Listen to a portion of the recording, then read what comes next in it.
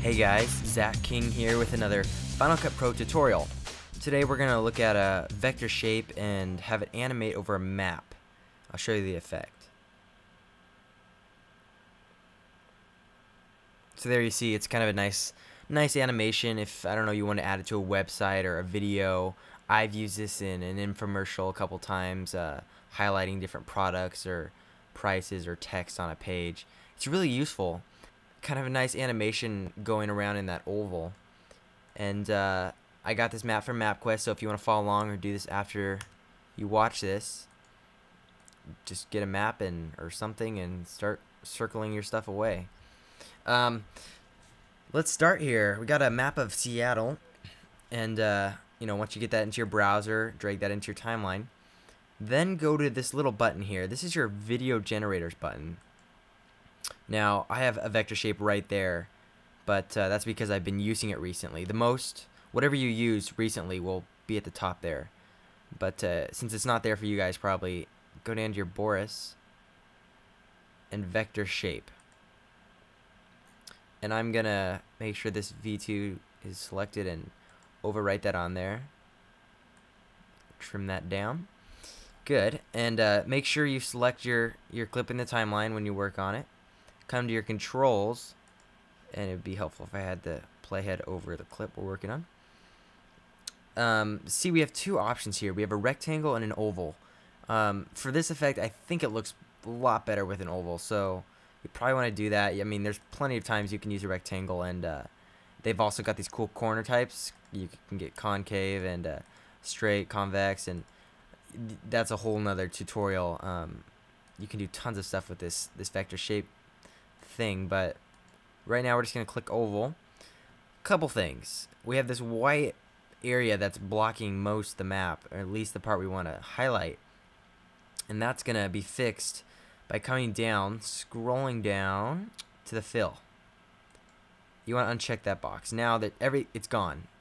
And that's because we have nothing checked here. We don't have the border on. We don't have this fill. And uh, let's scroll back up to the top. And let's get the border number one. Check that box and you'll see a black line. Default color, but I'm going to change that. Clicking on the color thing. And I'm going to get this red. That, that's a nice red right there. That looks fine. It's a little thick for me. I'm going to narrow it down a little bit. There we go. Nine. That looks good. Um, and it's, it's kind of centered. Yeah, if, if you want to make this smaller, if I want to focus it more on Seattle, um, that little star it has on the map, I'm going to lower this. And I'm going to take the top down a little bit and uh, maybe the right, move that in. So you can almost make it, you could actually make it a circle if you wanted. I'm going to keep it more of an oval. And uh, then drag that kind of center it right there. That's looking good. Now come up to your motion tab. And this is where we're going to add the drop shadow and that looks good. You could pass with that. I like to soften it down just a wee little bit. Right there. Okay. That's good. So, um, here's the animation part. It's very simple. Um, couple keyframing things.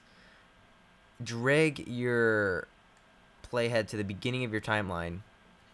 And I'm going to take this border begin right here and take it all the way to 100. That gets rid of it completely and uh, add a keyframe. So hit this little keyframe button, and you'll see right here, if I zoom in on that, you can see a little keyframe in there. And uh, you'll see another one pop out when we scroll out to where we want to end. Um, you, if you wanted a fast animation, you would end there, and it would literally circle so fast. Or if you wanted a longer one, you could end here. I'm going to probably go about here. I'm going to take that all the way back to zero. And you saw animate there kind of. And see, there's that other keyframe. Um, and you could do other things with this keyframe. Right click on it and you have an option for smoothing, which basically would, um, oops, I deleted it. Um, which basically would make it slow down near the end. And there's a couple fancy things you could do, but I'm going to be simple right now for this tutorial. And uh, there it animates on, looks looks fine. Um, you could render render it here. Um, select both of them and hit Apple R. You get that thing rendered, and uh, yeah, play around with this vector shape tool. It's really neat. There's a ton of different options you could do. Uh, you know, with the rectangle, with this, the um, oval, and uh, colors. You can also do different kind of animation. I think you can also, yeah, you could take it into Z space. So that's pretty neat right there. Uh, play around with it though. It's it's pretty cool. And uh, I think that's the end of that tutorial. So check out our website for the upcoming tutorials. We got some good ones coming up. We're also going to be hitting on motion and some 3D effects. So stay tuned. I'll see you guys later.